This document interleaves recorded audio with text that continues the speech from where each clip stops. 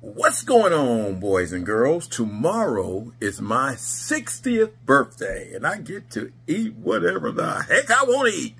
Which I eat whatever the heck I want to eat anyway. But tomorrow I'm going to have me some hog maws and some chitlins, you know. I, I have chitlins maybe twice a year. On my birthday, and I'll have them at New Year. So um, don't start talking a bunch of junk. You're going to have high blood pressure. You're going to have all this. You're going to have that.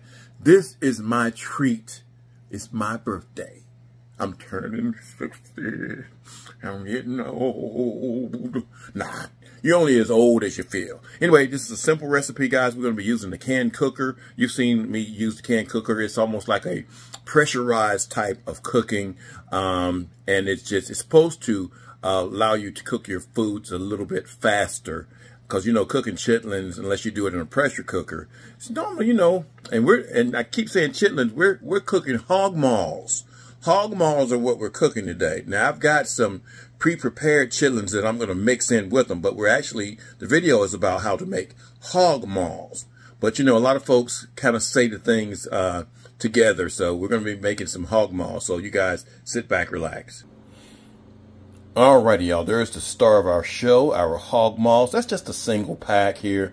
Um, and and usually they come pretty clean, but you still wash these things just because, you know, they're organ organ meat. I'll leave a lot of the fat up there just because it gives it a lot of flavor. We're going to be use some chitlin seasoning, and this stuff is really good. They, they've kind of got vinegar impregnated in with it.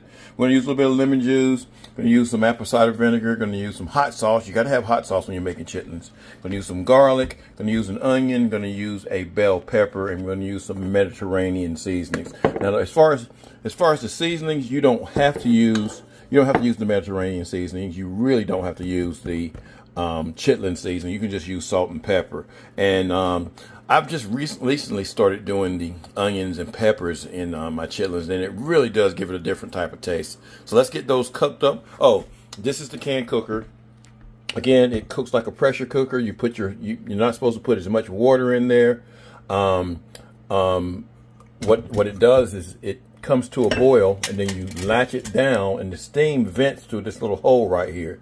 So again, um, they recommend that you put at least 12 ounces, but no more than 36 ounces of water. Now I'm going to use some chicken broth um, instead of water, y'all. I said I was going to use water, but I'm going to use some chicken broth. So make sure that if you got a lot of salt that you put in these things, that you use a little bit less salt. These um, hog maws will absorb a lot of salt, so you'll find yourself adding more salt to it anyway. Alrighty, so I've got about three cups of of chicken broth in there.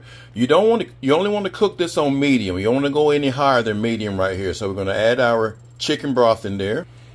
We're going to add our maws to the liquid. Going to add our onions and bell peppers, and then we're going to add our garlic. Again, that's one onion, one medium-sized onion, one medium-sized bell pepper. Now that's about two heaping tablespoons of minced garlic. Alrighty, so we're going to put two teaspoons of our chitlin seasoning and two teaspoons of our Mediterranean seasoning. And again, you don't have to use the Mediterranean seasonings. If you like different types of seasonings, you can use those. We're going to go with about two, tea two tablespoons of lemon juice. Not a whole lot, about two or so. We're going to go with about three to four tablespoons of apple cider vinegar. Now you can add more to that. And then we're going to put some hot sauce in there. Alrighty, and I put about three tablespoons of of hot sauce. Now, guys, I can tell you, you're going to probably have to add some more because, again, those maws are going to absorb a whole lot of this, um, a lot of this stuff that we put up there. Alrighty, we're going to give it a little bit of a stir and we're going to put our lid on. So we put our lid on and then we give it a little bit of a lock it down and then we'll bring this up to a boil until steam starts to come out of this little port right here and then we'll turn it down so that we just have a little sizzle coming out there. All right, it's been about three hours and 30 seconds and these are actually pretty tender now, y'all. So it does make a difference because it would have taken them probably six hours, five and a half, six hours or so. And these are nice and tender. Mmm, very good. So I'm going to mix them up with some chitlins that were pre-made. I just wanted to get these done here just because, you know, I really, I could have one serving of, chitlins, but I want, I want chitlins for a second day. You know what I mean? Because I just love these things. I know a lot of folks don't like them because they're pig intestines, but I can think of a whole lot of worse things that can happen in my life besides eating some pig intestines. So, you know what I mean? So anyway, that's it, y'all. This this is cooking the hog maws in the can cooker. Hope you enjoyed this video.